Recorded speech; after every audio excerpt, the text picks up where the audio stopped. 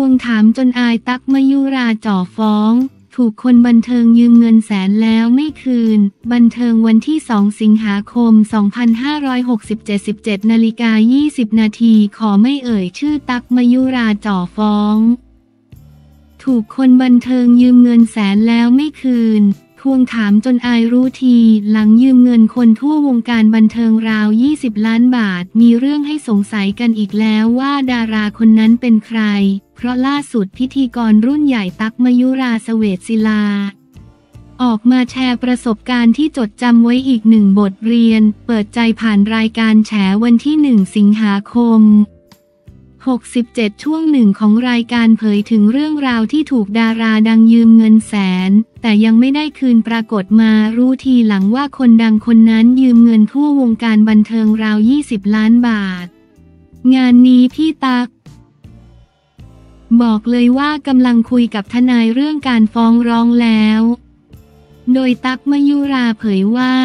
พี่เป็นคนไม่ยุ่งกับใคร พี่เป็นคนไม่มีเพื่อนนะ พี่ไม่คบใคร ไม่ใช่ว่าไม่มีใครคบกับพี่นะ แต่พี่เป็นเลือกคบคน พี่มีกวนน้องกรุ๊ปหนึ่งที่เล่นกอล์ฟกับพี่ น่ารักมากพี่ชอบแบบนั้นเป็นรุ่นน้องคือเล่นกอล์ฟเสร็จก็ต่างคนต่างกลับบ้าน พี่ก็มีสังคมของพี่อยู่ไม่กี่คน เพราะพี่เป็นคนไม่เที่ยวไม่ดื่มเลยเลือกคบคน ปรากฏว่าเล่าได้เปล่าเนี่ยไม่เอ่ยชื่อนะ ความที่เราไม่ยุ่งกับคนในวงการ ก็มีอยู่คนหนึ่งพี่กำลังสระผมช่างก็อยู่บนหัวเต็มไปหมด เขาเรียกพี่บอกหนูเดือดร้อนเงินมากเลยเราก็ฮะ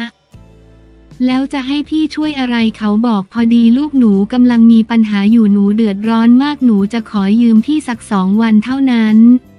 เขาเป็นคนที่ดูแล้วน่าเชื่อถือ เห็นปุ๊บเราไม่มีทางรู้ว่าเขาจะไม่นั่น แล้วพี่ก็ลืมคิดไปนิดหนึ่งว่า คนที่มันช็อตเงินแสดงว่ามันต้องไม่มีเงินเลยถูกไหม มันต้องศูนย์อย่างเราคนมีตังเราจะมีกระเป๋าซ้ายกระเป๋าขวาบัญชีโน้นบัญชีนี้ถูกไหม มันจะไม่ศูนย์เราก็ลืมคิดไป เราก็แล้วไงสองวันใช่ไหมโอเคโอเค เดี๋ยวพี่ค่อยพูดได้ไหม พี่กำลังใดผมอยู่ไม่ได้พี่ต้องเดี๋ยวนี้เลย เราก็ลืมไอ้ความที่เขาเป็นคนน่าเชื่อถือ เราก็เลยบอกโอเคโอเค เดี๋ยวพี่ให้เราก็โอนให้เขาไป เงินนะอยู่ในกระเป๋าเรานะจำไว้เลยนะ อยู่ในกระเป๋าเราถ้าเราใจอ่อนเราจะให้เขา เพราะเขาพูดว่าลูกนายพี่เป็นคนใจอ่อนเรื่องลูก และก็หมายอย่ามาคุยกับพี่พี่ใจอ่อนบอกลูกกำลังมีปัญหาอย่างนี้ โอเคโอเค พี่ก็โอนให้เขาไป แต่มันก็แค่แสนเดียวโอนไป สองวันนะโอเคสองวันก็แล้วทวงก็แล้วสามวันก็แล้ววันที่ 20 เดี๋ยวคนนั้นจะโอนมาให้วันที่ 25 เดี๋ยวคนนี้จะโอนมาให้ปรากฏว่าพี่มารู้ทีหลังว่ายืมไปทั่ววงการพี่ว่าน่าจะมี 20 ล้านจริง แล้วปรากฏที่ไปคุยกับอีกคนหนูโดนค่ะ หนูโดน3ล้านอีกคนโดน3แสนรู้จักหมดอีกคนโดน2แสนอีกคนโดน 1.5 แสนทั่ววงการเลย พี่สงสารเขานะ แต่ถามว่าเอาเงินไปทำอะไรทำไมมันใช้เงินเยอะขนาดนี้ คนเราเวลาทำงานก็ต้องมีเงินเก็บบ้างนะ ก็ไม่มีใครได้คืนจนถึงวันนี้ก็ยังไม่มีใครได้คืน แล้วมันน่ากลัวตรงไหนรู้ไหมวันดีคืนดี มันจะมี SMS เด้งขึ้นมาว่าดาราคนนี้เบอร์นี้ได้กู้หนี้นอกระบบ แล้วใช้คุณเป็นคนค้ำประกันคุณจะต้องทำอันนี้นี้พี่อ่านได้แค่นี้ แต่พี่ไม่กดเข้าไปดูพี่ไม่กล้ากด มีลูกน้องที่คนหนึ่งบอกว่าพี่อ่านหรือเปล่า หนูได้ SMS มันดันกดเข้าไปดูมีบัตรประชาชนเขาด้วยอยู่ใน SMS แล้วไม่มีการคาดขีดอะไรเลยน่ากลัวมากพี่ว่าเขาไปกู้หนี้นอกระบบโดนหมดเลย เรื่องนี้สอนให้รู้ว่าถ้าเราจะให้ใครยืมจริง ๆ มันให้ได้นะ ถ้าพี่นั่งคิดอะไรอยู่หรืออยู่บนรถคนเดียว พี่จะไม่ให้นะ แต่นี่สระผมวุ่นวายอยู่เหมือนตัดสินใจเร็ว และปรากฏว่ามีดาราคนหนึ่งโดนเหมือนพี่เลย โดนเรื่องลูกเหมือนกัน และโดนตอนที่เขาอยู่เมืองนอกและเขาโอนเดี๋ยวนั้นเหมือนกัน นั่นโดนไปสามแสนเวลาโทรไปถามเขาก็จะบอกกำลังนั่งวิปัสสนาอยู่กำลังอยู่ วัดเราก็เอ๊ะทำไมเรื่องเหมือนกันเลย เรื่องเดียวกันเลย ตอนหลังพี่ไม่อยากโทรพี่เลยคุยกับทนายกำลังคุยกับทนายอยู่ก็จะฟ้องร้องกัน ถ้าทำบุญเราทำได้นะ เงินแค่นี้เราก็สร้างโบสถ์สร้างวิหาร แต่ว่าไม่ชอบคนพูดไม่จริง ไม่ชอบคนผิดคำพูดไม่ชอบคนโกหก ถ้าบอกหนูมีเมื่อไหร่หนูจะใช้พี่จะไม่รอ แต่นี่ขอสองวันถ้าเดือดร้อนจริง ๆ เราเข้าใจได้ เราช่วยได้นะ แต่พอยืมเยอะอันนี้น่าคิดแล้วใครที่เคยโดนยืมก็คงรู้แล้วแหละ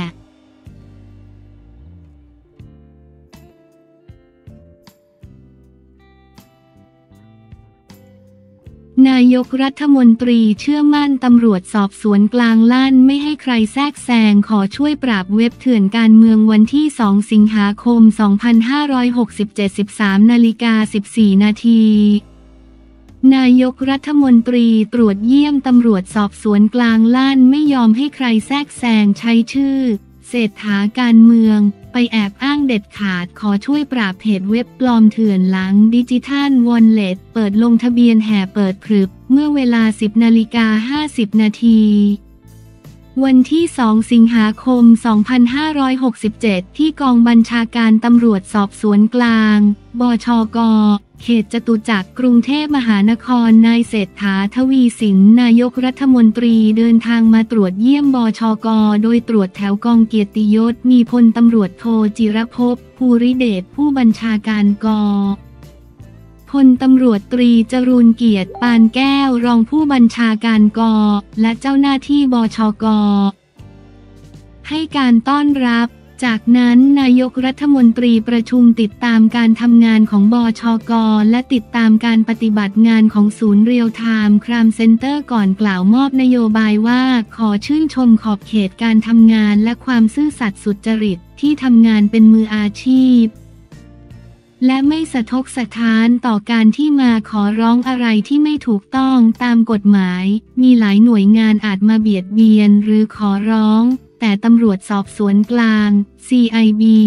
ตนมั่นใจและติดตามมาตั้งแต่ก่อนเป็นนายกรัฐมนตรี เป็นหน่วยงานที่ยึดมั่นในหลักการมาเมินเดลาหรืออดบองปัจจุบันโลกเปลี่ยนแปลงไปเยอะฉะนั้น เรื่องดิจิทัลเป็นเรื่องรัฐบาลนี้สนับสนุนทุกด้าน รวมถึงเรื่องของ National CCTV ที่เราดูอยู่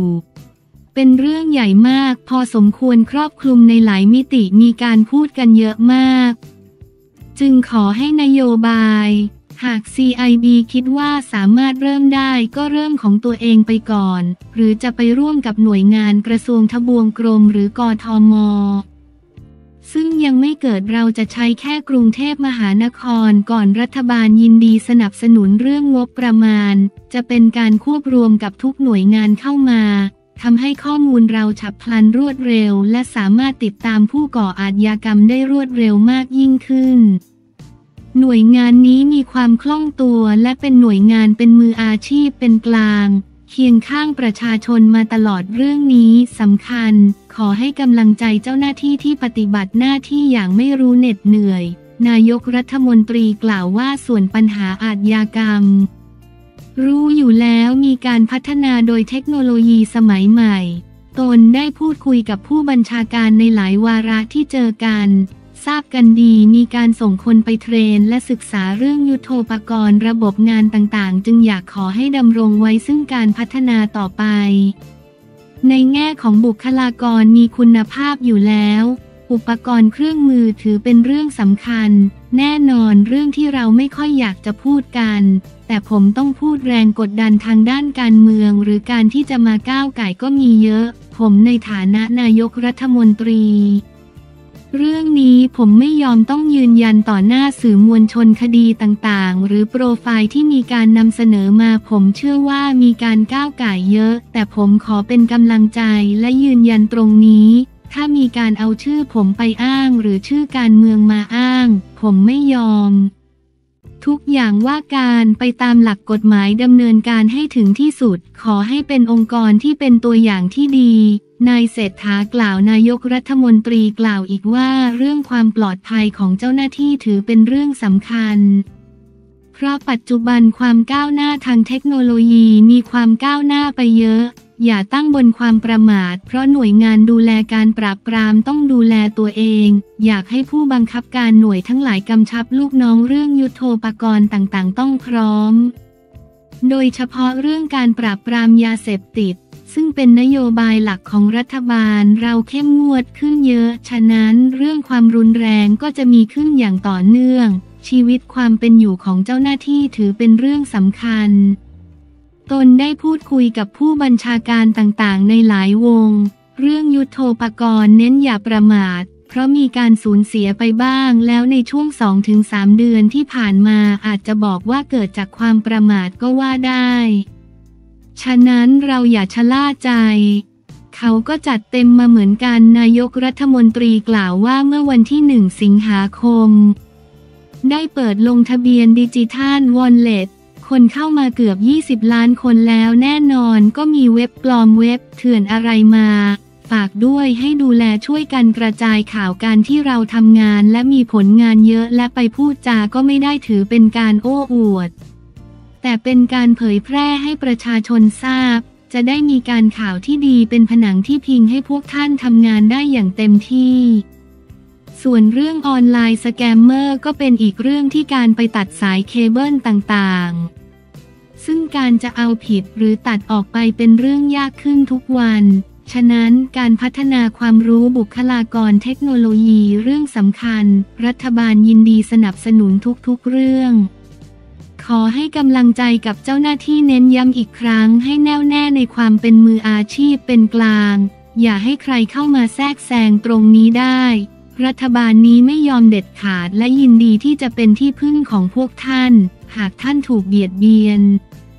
ขอบคุณที่ช่วยดูแลประชาชนอย่างเป็นกลาง ภายหลังมอบนโยบายนายกรัฐมนตรีเยี่ยมชมพิพิธภัณฑ์บชกและเยี่ยมชมร้านค้าสวัสดิการก่อนติดตราสัญญลักษณ์ทำเนียบรัฐบาล ลงบนบอร์ดซึ่งเป็นชื่อของนายเศรษฐาทวีสินนายกรัฐมนตรีวันที่ 2 สิงหาคม 2567 เพื่อเป็นที่ระลึกในโอกาสที่เดินทางมาตรวจเยี่ยม ก่อนถ่ายภาพร่วมกันเป็นที่ระลึก